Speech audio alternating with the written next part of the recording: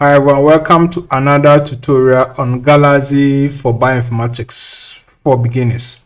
So in this tutorial, I'm going to show you how you can run bioinformatics tools in Galaxy.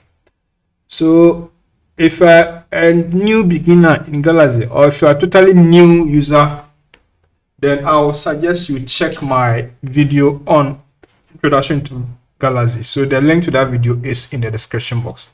So on Galaxy, if you want to run tools on the left hand side, you will see tools. You will see this particular section here where they say tools. If you don't see it, just come to the taskbar here, this section, the last end. And then if you look at the various tabs, there's one, the third one, that is tools. So click it, and when you click it, it will show. If the tools list has already been displayed and you click it again, it goes away. So just click it back and then it will show. So once it shows, there is this search box here that you can use to search for the tools that you want to use for your analysis. That's how it goes. Now, let's do this. So if you are going to use the tools, you need to know the name of the tool. You also need to know how the tool is used. That is very, very important. And most of the tools, the good thing is that they have documentation available online. And so if you don't understand it, you can quickly go to their respective website or search for the tool. And then the website that has information about the tool or the tools will be shown to you. So in this search box here, you just type the tool. If it's not there, you type it. You can also check here. So here, the tools here have been categorized. So we have get data. It shows you tools that you can use to get data you have send data. So they have been categorized so that at least you have an idea of what the tool does. All right.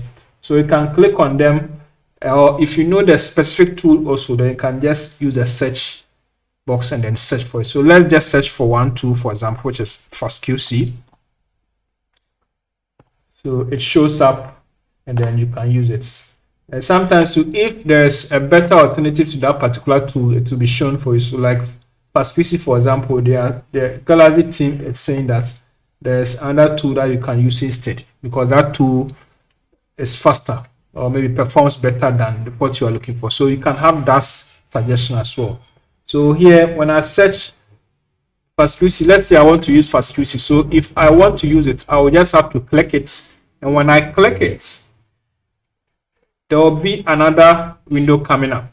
So the tool will definitely require you, require some information from you. And so all information that will be needed by the tool will be displayed and then you can fill in or supply the information and then get your work done. So FastQC, for example, it's used for getting the quality of NGS sequencing data. And so if you click it, it's going to ask you questions. Maybe the input you are going to use maybe the parameters and some other information. So you have to know this information beforehand so that you can supply that information to Galaxy. All right. So the tools themselves are there, but it's important to for you to know what these tools do and what these tools require so that when you click on it, then you supply the needed information. This tool for example, FastQC requires some inputs, a FASTQ file or another type of file, I think BAM file. And so you have to supply it here. And then some of the options to, you, you, you can leave them. Let me just put it out. Some of the parameters here, some of the information, here, they are optional. So you can leave them. Some of the tools will have default settings. And so you have to know which you want to modify and which you want to leave. Some of the information here, they are mandatory. You have to supply them. Some of them are optional. So those that are mandatory, usually you have this text. It says required. Let me just zoom in again. It says star required. So you need to supply information. You need to supply this information because it's required. Those that are optional will be stated. So this one, for example, contaminant list, it says optional. So that means you can leave them out. And sometimes too, if they are optional, it means that there are default values. So even if you don't supply anything there, the default values are going to be used. All right, so you just take note of that. So the best thing is know the tools you want to use, consult You can also check the documentation of these tools online in their respective pages and then you can supply the required information. Of course, because it's a tool, you're also going to need some inputs. So for the inputs, you need to make sure you upload them. So when you upload them, they are going to be here on the right hand side. So there's the history, the current history. So when you upload them, this is where they are going to be. Or you can click and select the appropriate history. I have a lot of history here. So you can just use the one which has the data, right? If it's this current history you are using, you can just come to the left hand side. There's the upload button here. You can click it and then upload your data, all right? I already have a tutorial that also shows how to upload files and data to Galaxy. So just check the description box, you'll find a link to that video, all right? So with the upload, you can click choose local file, choose from repository, paste slash fetch data. Okay, so this one, if you have the download link, you can just click and then just paste the link here. All right, like in my case, I have a link, so I can just paste it here. Or if it's a local file, that's where you click choose local file, and then you can now proceed and then select from local file, or you can just drag it here. So all these things you have to know what you want and then use it. All right, so that's very very important okay so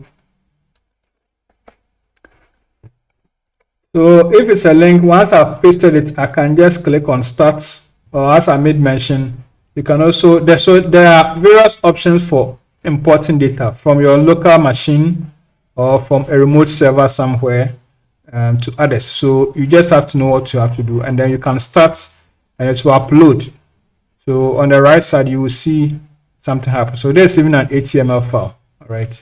But you can also use a file itself. I think I had one here. I can copy this one.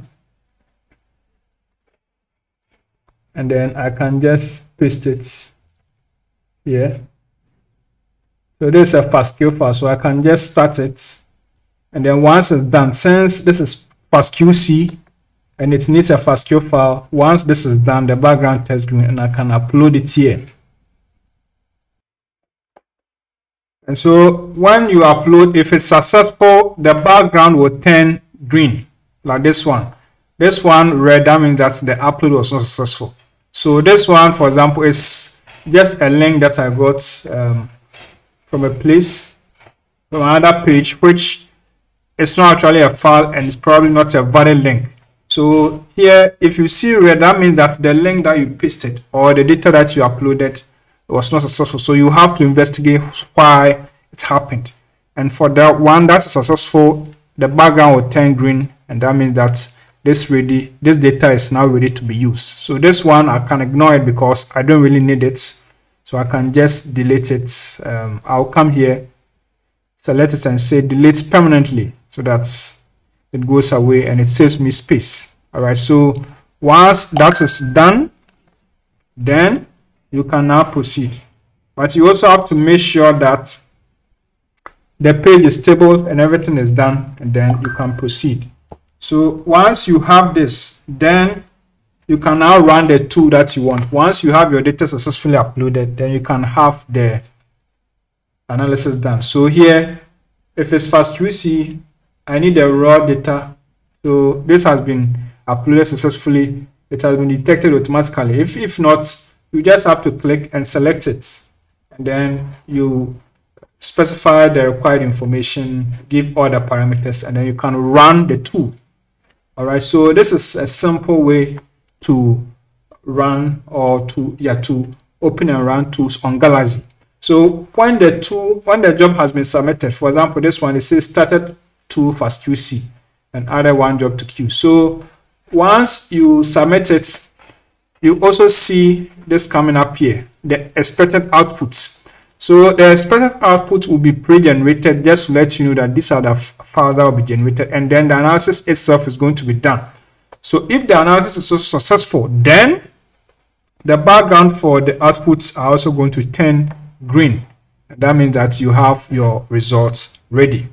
And you should also note that the time it takes to run the tool will depend on the data you are using, will depend on the parameters, will depend on the tool itself. So there are a number of factors, all right? But just make sure to monitor and then uh, when it turns green, that means it's done. Sometimes it will be red, that means there was something wrong. So you can actually send a report to Galaxy. We will talk about that later.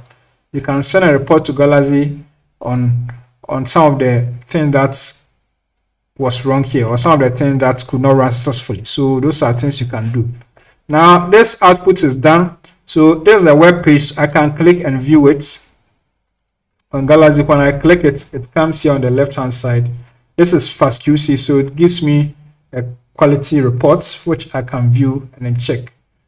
So there's the web page. You can also download it by the way. So when you come here, this is the download button. You can click to download. So when you click it, you will be asked to download it you, to save it on your machine. So you have to select where you want to save it. That one is up to you. So you can save it. And there's also another output from FastQC. So you have to know the outputs and also you should be able to know what these outputs are and what information they carry. All right. So this one too, I can view, I can download. Some of the outputs may be heavy. So that means you may need to process them further and then extract the content that you want. Or you may need to download and view on your machine.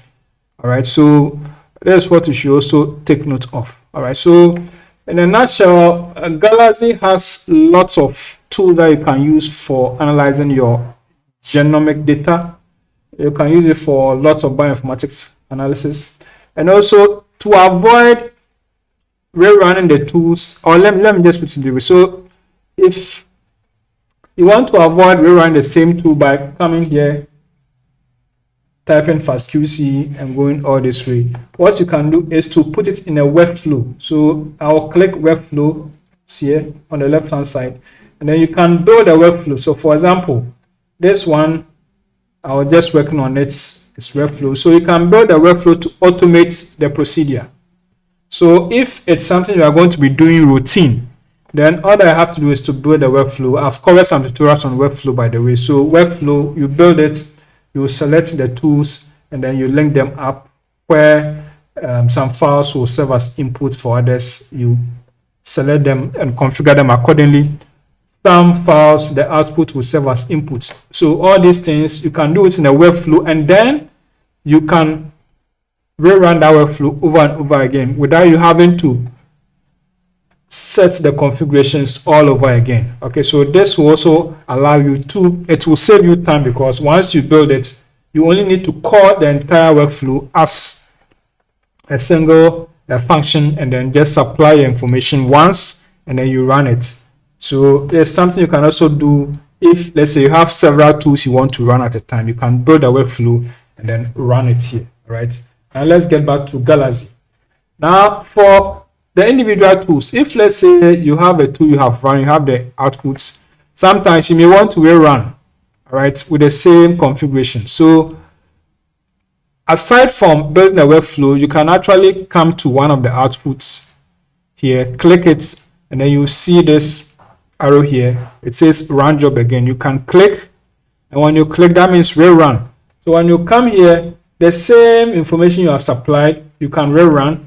Or if let's say you want to change something here, maybe the output or something, you can also change it and then maintain the others and then run. So when you run, okay, the good thing is that when you run, the existing outputs are going to be maintained. They will not be deleted and then new outputs are going to be created all right so in case maybe you will run and then supplied a different inputs then all the more reason why this is also a cool approach because new outputs are going to be generated and the old ones will still be kept so it will be your decision to delete the old ones or maintain them if the ones you are running now have new inputs okay so uh, these are things you can always learn and, and then try to implement. So uh, this is how we run tools or let's say bioinformatics tools on Galaxy. So it's a simple tutorial which I believe will help. For those who also want extra tutorials, you can just book a session with me or send me an email and we can discuss further on that. So please watch this playlist. You have more tutorials on how to use Galaxy for bioinformatics. See you later.